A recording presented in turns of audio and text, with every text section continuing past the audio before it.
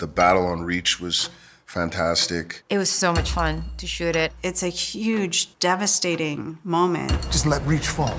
They knew this was gonna happen. And this is humankind taking an almost last stand. And being able to bring that to live action is hard.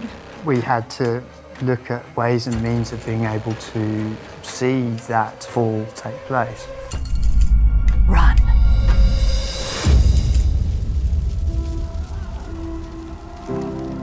Fall of Reach impacts the overall story in a massive way because, as most people who know Halo know, the fall of Reach is a central part of Halo storytelling. It's a massive event in Halo lore. Focus on the mission. Stay alert. It was a really painstaking, time consuming process, and each step along the way, they vetted the safety first, and then we talked endlessly about how we were going to do it. Well, they're going to be here and they're going to be over here.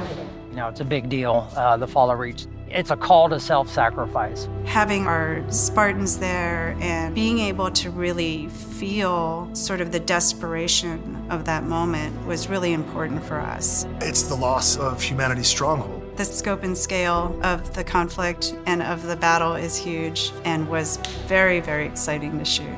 We need to be efficient today. It's going to move very fast. At times harrowing to shoot.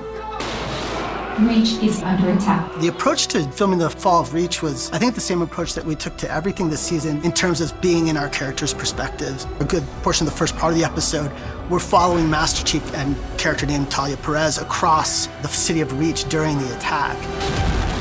The amount of time, the amount of effort, the amount of passion and love that you need to have. It's so hard to do something as big as this.